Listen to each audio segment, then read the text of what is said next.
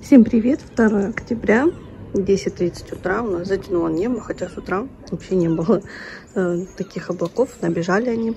17 градусов, на улице очень тепло, несмотря на тучки. Ну, так вот.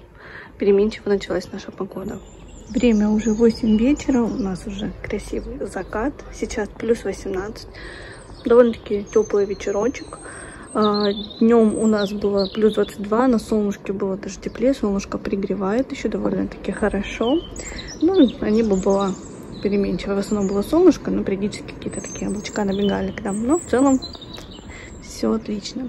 Пишите, какая погода у вас. Не забудьте подписываться на канал. И всем пока. Увидимся в следующем видео. Пока-пока.